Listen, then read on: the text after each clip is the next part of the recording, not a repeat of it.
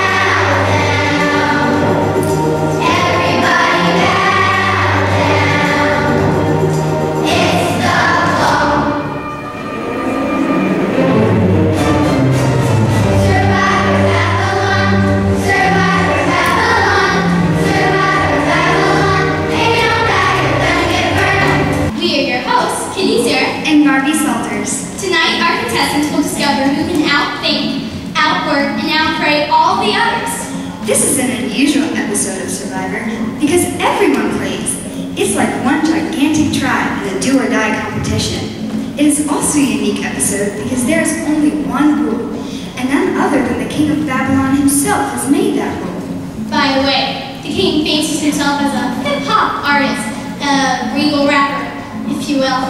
Between you and me, it's questionable.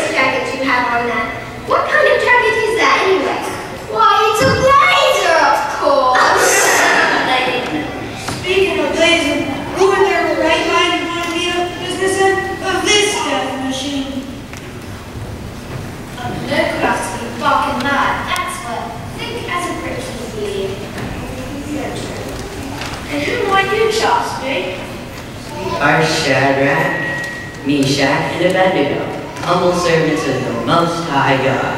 You way to. Do you work for the king? That's a one-legged dachshund in circles. all right, all right. I'll answer your burning question. We are the furnace keepers, hired by the king himself. We keep the furnace hot like it should be, just in case it's needed. So what do you think about the king's gorgeous golden statue?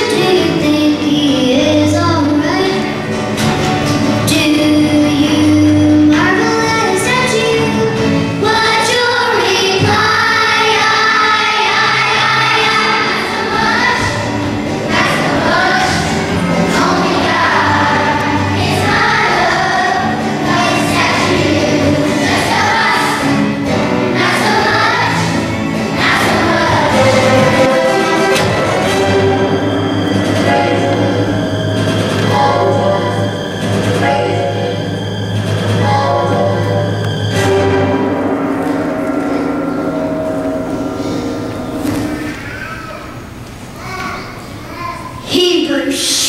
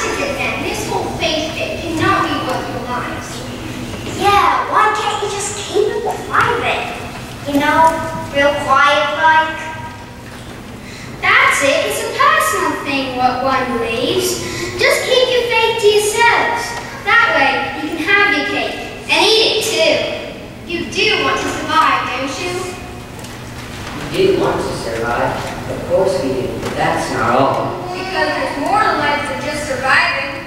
Life is all about knowing and loving the one true God. So whether we live or die, we will be with God. What good is survival without God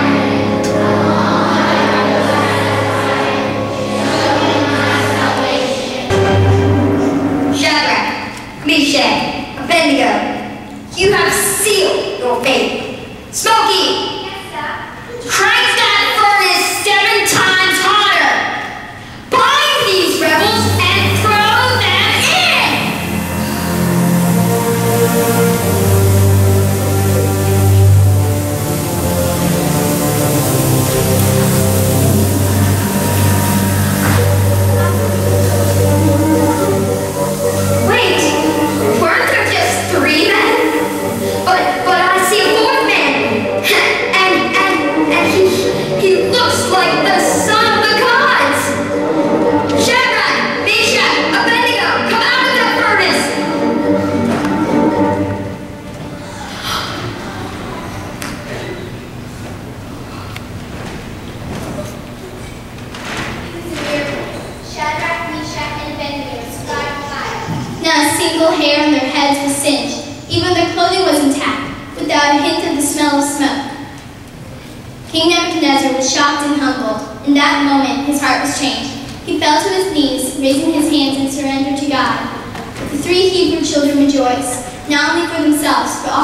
king and his newfound fame.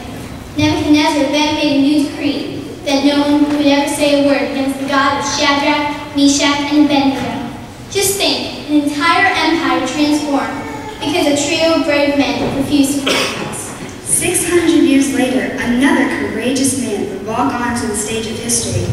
He too refused to bow to the demands of political and religious leaders. Like the three Hebrew children, he was delivered. But rather than walking furnace, Jesus Christ walked out of the tomb, defeating death itself. Today, through faith in Christ, people all over the world are experiencing the same kind of empire-shaking deliverance found by our heroes in the survival of Babylon. You too can have that same joy by bowing in surrender to Christ.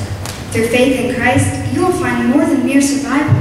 You will find life to its fullest, both now and in eternity. And now, I think our rapper king something Everybody on your feet. Stand up and praise the